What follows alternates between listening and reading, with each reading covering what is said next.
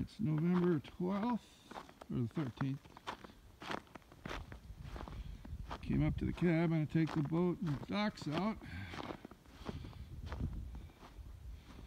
And now we got three, four inches of snow to deal with.